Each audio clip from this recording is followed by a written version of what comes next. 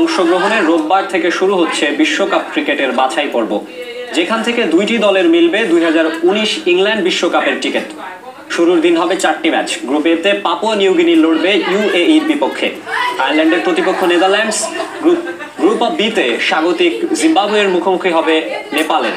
আর আফগানিস্তানের, আফগানিস্তান লড়বে স্কটল্যান্ডের বিপক্ষে। সবগুলো ম্যাচ শুরু হবে বাংলাদেশ সময় দুপুর দেড়টায়।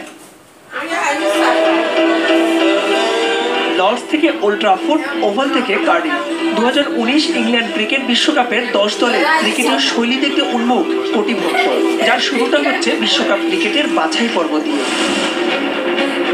উনিশশো পঁচাত্তর থেকে সাতাশি সাল পর্যন্ত আট দলকে নিয়ে হয়েছে বিশ্বকাপ ক্রিকেট।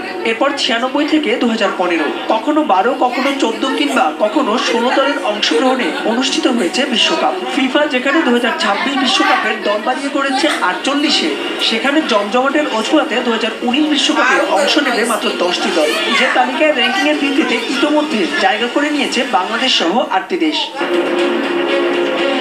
বাকি দুটি দল খুঁজে পাওয়ার প্রক্রিয়া শুরু হয়েছিল দু হাজার পনেরো সালে। আইসিসির ওয়ার্ল্ড ক্রিকেট লিগ থেকে বাছাই পর্বের টিকিট পায় নেদারল্যান্ড স্কটল্যান্ড হংকং ও পাপুয়া নিউগিনি। আর সদ্য সমাপ্ত ক্রিকেট লিগের দ্বিতীয় ডিভিশন থেকে ছয় দলের মধ্যে নানান নাটকীয়তার পর জায়গা মেলে নেপাল ও ইউএই। বাছাই পর্বে জায়গা হয়নি দু বিশ্বকাপের সেমিফাইনালিস্ট কেনিয়া. আসরটি অনুষ্ঠিত হবে জিম্বাবুয়ে হারারে ও বুলাওয়ে শহরের পাঁচটি ভেন্যুতে। এই টুর্নামেন্ট দিয়ে জিম্বাবুয়ের পঞ্চম ভেন্যু হিসেবে আন্তর্জাতিক ক্রিকেটে অভিষেক হতে যাচ্ছে ওল্ড হারিয়ানার্স স্টেডিয়ামে। চোখ বুলানো যাক গ্রুপ এর দিকে।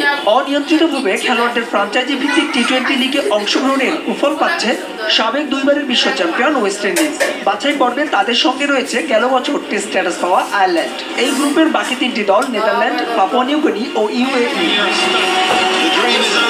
গ্রুপ অফ বিতে সাম্প্রতিক সময়ে বিশ্ব ক্রিকেটে সারা জায়গা নিয়ে দল আফগানিস্তানের সঙ্গে আছে হংকং, নেপাল, স্কটল্যান্ড ও সময়ের মধ্য দিয়ে যাওয়া জিম্বাবুয়ে।